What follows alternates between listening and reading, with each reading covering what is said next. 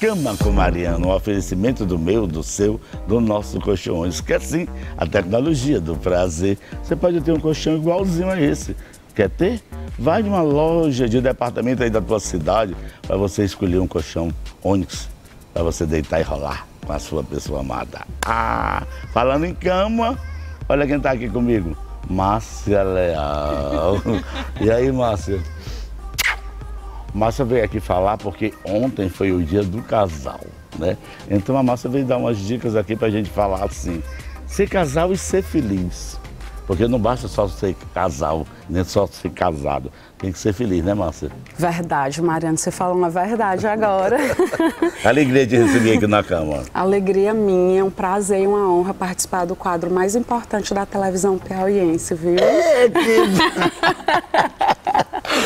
Com certeza, um quadro que tem mais de 20 anos é no ar. É um quadro que todo mundo quer vir, né? Ou eu era louca pra vir pra é. cama. E tu já foi minha produtora, tu só trazia as pessoas e tu tinha vontade de, de ficar na cama? Muito, eu ficava olhando ali, ali do outro tudo lado. ali nos bastidores, só nos olhando. Nos bastidores, eu, meu Deus, um dia eu vou pra cama com Mariana. E deu certo, viu? Não querer é poder? É verdade. Querer é poder. Que legal, Márcia. Olha, Márcia, fala para mim, porque você faz esse trabalho que é super legal, você faz esse, esse, essas reuniões ensinando as mulheres a, a, conhecer melhor o corpo, a conhecer melhor o seu parceiro, porque não, às vezes a gente vive 20 anos com uma pessoa e não conhece ela. Verdade. Não, é? não conhece ela na cama. É, é, verdade, e, nem se conhece. Nem se conhece, nem se conhece. Exatamente, nem se conhece. E você, com essa experiência que você tem, você estudou para isso, isso é super legal. E você tem feito isso muito legal. Você tem feito muitas mulheres ser felizes. Aliás, você faz, quando você faz uma mulher ser feliz, evidentemente que a mulher faz o, o parceiro dela, o marido dela ser feliz também. Sim, sim. Ela se redescobre sim, sim. como uma nova mulher e ela leva isso para o relacionamento. Sim. E o parceiro percebe aquela nova mulher que está ao lado dele diferente, é, com mais personalidade, mais solta, mais à vontade, propondo coisas novas, brincadeiras novas. E ele se surpreende mesmo e gosta. E isso faz a pessoa, e isso faz o casamento ficar muito mais seguro. Sim. Não é verdade? Sim, porque o casamento existe vários, vários fatores uhum. para que ele dê certo. Sim. Mas com certeza o sexo, o amor, o romance é muito importante. Sim, não tenha dúvida. Sem ele, é verdade. vira amizade. Vira amizade. Aí amizade você fica com seu irmão. você fica com o irmão. Verdade. Não é verdade? É. Você vai ficar irmão de uma pessoa que você casou? Não. Não Você dá. tem que realmente... Eu acho, eu acho muito bacana, inclusive, o que vocês fazem, porque isso é uma nova profissão. Essa sua profissão é uma nova é. profissão que está fazendo o maior sucesso e é no mundo inteiro.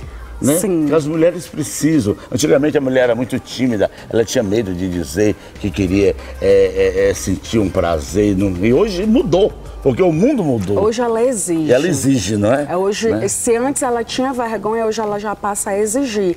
Claro que ainda tem aquelas hum. que sofrem caladas, que Sim. tem medo, que tem um parceiro que não é um homem aberto, que não é um homem moderno. Ser homem que é casado, abra o olho com as... abra o olho e seja um parceiro legal e fiel. Faça com que sua mulher descubra a felicidade. Não seja feliz sozinho, que você não vai a lugar nenhum.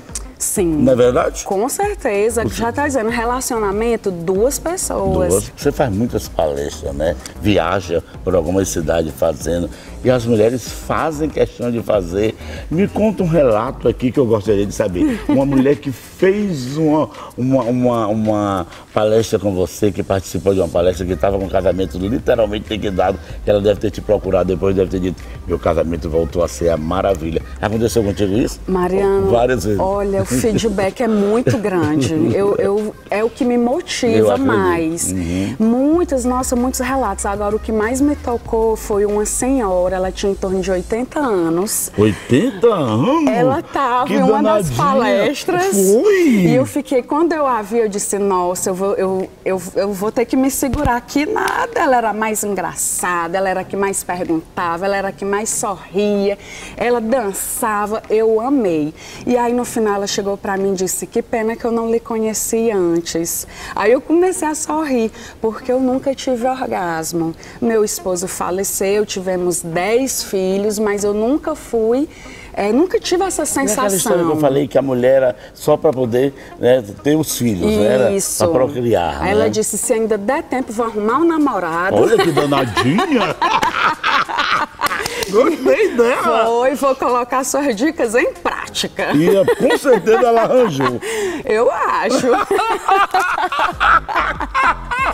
foi a que mais me marcou. Eu acredito, ela. uma pessoa com 80 anos, mas enquanto a vida, a deseja e a felicidade. Verdade. Não é? Eu tomara que ela tenha arranjado esse namorado. Tomara. Pra fazer ela feliz, porque a gente precisa. A gente vem nesse mundo para ser feliz e fazer os outros felizes. É verdade. E eu encaro essa profissão, Mariano, como você bem disse, como uma missão. É, e com muita seriedade. Muita seriedade. A gente brinca, mas você faz com muita seriedade. Sim. Eu sei que é. A prova é que você faz o maior sucesso, você está sempre fazendo esses chás é, de despedida de noiva, que chamam chá de lingerie. Verdade. Né? Você é muito é, concorrida demais para fazer. E quem quiser fazer é só procurar a massa. Bota aí o telefone da massa para a pessoa ligar, tu vai casar, faz um chá. Porque tem, não tem a despedida de solteiro? Isso. É a despedida da mulher, deve Isso. ser muito bom. Tem oh, encontro cá, de uma, amigas. Vem cá, uma despedida de solteiro assim, não pode homem.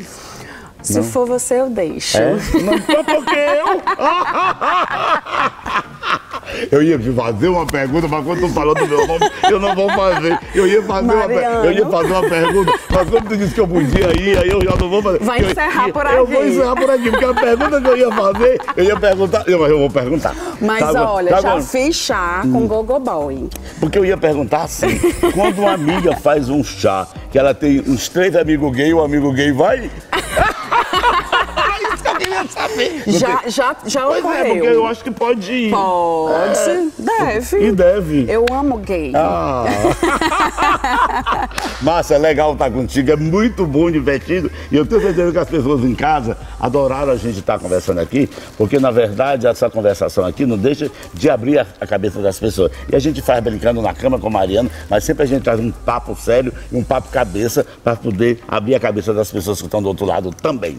Obrigada, é Mariana. Olha, eu quero te dar para tu levar, Nossa, olha aqui, esse mimo. Que oh, tu vai botar aqui, olha aqui, a marca da Cama com Mariano, aqui o colchão 11, que é a tecnologia do prazer, né? Que ninguém deixa de dormir em um colchão tão gostoso como esse e a gente dorme com as pessoas que a gente ama. Dá para namorar até dá, melhor aqui, Dá para né? namorar muito bem. e olha aqui, a marca da Record e da TV Antena 10, da, da Record, da TV Antena 10, aqui. Adorei estar contigo. Amei. Você tá linda, viu? Obrigada. Ah, tá sendo bem cuidada. um beijo no teu coração. Vamos fazer assim? Esse foi Na Cama com Mariano.